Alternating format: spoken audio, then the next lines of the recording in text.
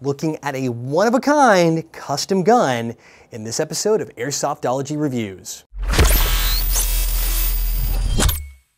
Now I say one of a kind, this is actually repeatable. You guys can build one of your own, but this is mine, and this is my custom DMR from Thunderkiss Northwest. So I reached out to Thunderkiss Northwest and I wanted to build, have a DMR build project for a very long time, and these guys stepped up to the plate and they built it for me. And uh, let me go ahead and knock uh, the bad news out of the way. This is kind of a review, kind of a show and tell, but it's also uh, a very pricey gun. I'm not gonna lie to you guys here. So definitely come out. This thing retails for a hair over 1400 bucks. So for you guys looking for a budget build, now might be the time to, to click another video or something over here. But if you want to see a really cool custom DMR that has everything you can possibly put under the hood and then some, stay tuned. This is going to be a great review and just up your alley. So if you guys don't know who Thunderkiss Northwest is, they are a small shop that's known for their custom high-end builds out of Vancouver, Washington, United States of America. You probably know their work best by Unicorn Leah's Unicorn Slayer, that paint gun she uses and knocks down opponents. In fact, it's my first experience with Thunderkiss was seeing the effectiveness of her rifle at the BB Wars Water Wars game with Airsoft GI a handful of months ago, and that's what prompted me to reach out to Thunderkiss to have this thing built.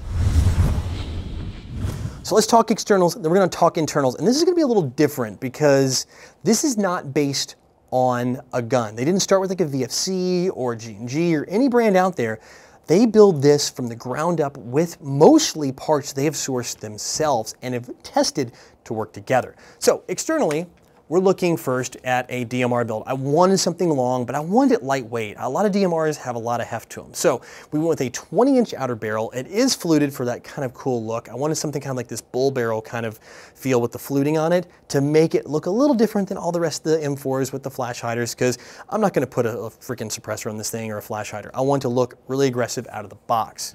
Moving on down is this big old rail. I wanted to go key mod, but I didn't want to get stuck with key mod on all sides. So we have a huge rail on the bottom that gives me the ability to be flexible with what I put on here. If I do want to run, if I get crazy want on a bipod, my scope cam will probably mount here on the bottom as well in the front and to use other accessories. I wanted to have the freedom of using that, but then I didn't want the weight of having the rails on the side. But of course you do get that top rail and that's very important for a DMR build because in DMRs you need that rail space to put a very large magnified optic, which is what's going on here. I have a variable optic from G&G. It's going to go on top of this thing and it's going to be the, uh, the go-to for this so I can actually see the opponents at distance and still dial it back to that one-time zoom if I need to get a little closer, but I can't get too close, and we'll talk about why about that when we get to chrono.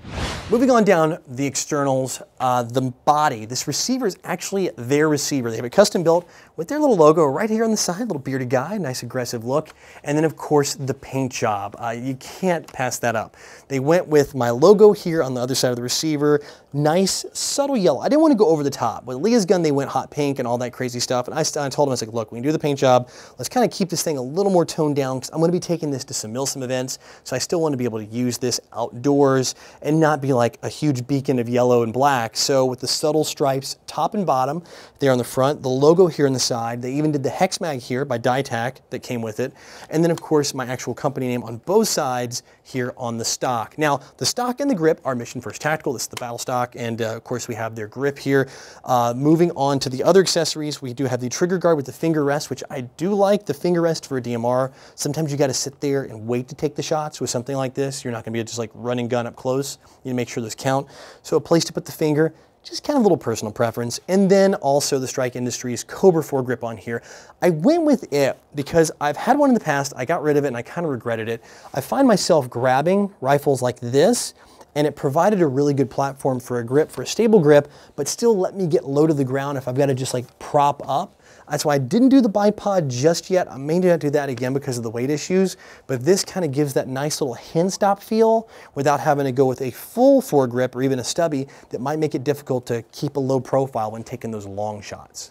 Across the top, do you have some iron sights here, back up, flip uh, front and rear. One of those, because you never know when your optic power could go out or you just want to ditch it and you just need to have those iron sights, or God forbid, somebody shoots your optic out, which has happened to me before. Then they do have a unique custom charging handle here in the back. Standard safe semi and auto fire selector. It's set up for a lefty. I didn't need any ambi setup like that because, I mean, I'm a righty guy, it's no big deal. And then again, all around a clean look, but still a little bit unique. All right, let's talk about internals, but I still, before we jump exactly into what's under the hood in the mech box, I want to talk about the actual shell of the receiver first, because this actually works in concert with the mech box. The mech box itself is a quick change spring system. And if you guys know quick change spring systems, you know, well, they're not exactly quick. You still have to take the receiver out of the mech box and then you can get to it. It just saves you from having to open your mech box up, which is good for a custom build because you want to mess up what they've done for you. What's unique about what the guys at Thunderkiss have is they have a custom mech box and a custom upper and lower receiver. So on the lower receiver, you actually can remove this ring here for the buffer tube. You unscrew it. You can take the buffer tube off and you can take the post that actually the buffer tube sits on and it unscrews from the receiver. So then you can access the mech box without having to take it out of the body. So there's no need to take your motor grip off, your motors, all that mess stuff, and wires and all the potential issues you can have there. Just the buffer tube all the way off, take the post out, and you can do your quick change, which is huge, especially for a DMR build. Sometimes there's a need to maybe turn the FPS up if you can at bigger events, or if you want to turn this back down to like a standard field legal gun for skirmishes, you may want to do that because this thing's a little bit over what you can take to your average indoor field and most outdoor fields. So continuing on with the internals, like I said, it's their own custom mech box shell, and I'm going to get a little geeky with you guys out there that want to know the specs of what's under the hood. 16 to 1 ratio gears in this because I knew I'd be having the big springs in here and it gives me that flexibility to put a softer spring in if I want. You do sacrifice a little rate of fire, but not much, especially in a DMR. It's all about trigger response. Also to keep all that stuff moving, 8 millimeter bearing bushings with 4 millimeter shafts on them, so you definitely had that reinforcement to keep those gears in place. CNC'd piston on this, needed the durability, dual O-ring piston head for good air seal, and a ton of other parts going on, including a Mad Bull 60 degree bucking in there, the blue kind, to really make sure those shots are very consistent. And running it all out, got a nice high torque motor and a snap trigger. They use the snap triggers, not a MOSFET in here. They found that the reliability of a snap action trigger, it's way better than your standard contact type trigger that you find in most every AEG, but you don't have the risk of burning out like some of the MOSFETs of late, especially the higher technology MOSFETs sometimes have a tendency to do that. I've experienced that in one of three installs I've had in my own personal guns, and it, usually it's at that really inopportune moment where you're trying to take the shot. So for a DMR build, something really reliable, that snap action trigger rounds out the reliability of a very robust build. All right, take it to the chrono. This is where things are gonna be a little high for most of you guys shoots around 475 feet per second with a 0.20 gram BB. And that is, again, up there. I had this built at that level for a specific event. Again, remember, you have a quick change spring system, so you do have that option to dial it up or dial it back. Like if you go to, let's say, a Lion Claws event, I can actually take this a little higher.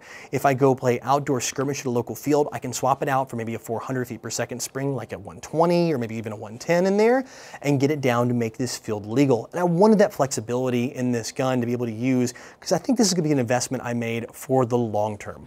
So guys, if you're looking for a very unique custom build, especially custom paint jobs, like I said, I went very tame with the, the build on this one, uh, but you can go crazy. Some of their Cerakote work is insane. Like I said, take a look at uh, Unicorn Leah's uh, build, their Unicorn Slayer. It's unbelievable with the hot pink and the blood on the front coming down. Very nice build. Uh, definitely take a look at Thunderkiss Northwest and they can build you just about anything you want. Like I said, this one came with everything but the kitchen sink. Very premium price, around that yeah, $1,400 retail price, give or take a few dollars. But fear not on that price tag. They do offer discounts, actually a pretty hefty one if you're getting a build. So it brings that price down from that $1,400 point down to a little under $1,000. Still very, very on the premium end, but the discount by buying this build together, having them use all their parts and put it together is a huge savings off list. But again, they have something that'll fit just about any budget whether large or small. And as always, if you guys want to learn more, I have a link to Thunderkiss Northwest site and this build uh, over there in the description below. As always, thanks for tuning in. If you're not currently a subscriber, click on the logo in the bottom right or in the description and you'll always be in the know. Plus, if you like what you saw in this video and want to learn more, I've got a link down there as well. And if you haven't had your airsoft fixed just yet, click in the videos on the right or use the info button at the top of the screen for more. And as the saying goes, everyone has an opinion, and I do want to hear yours. So give me a thumbs up or a thumbs down on this video, comment, and share.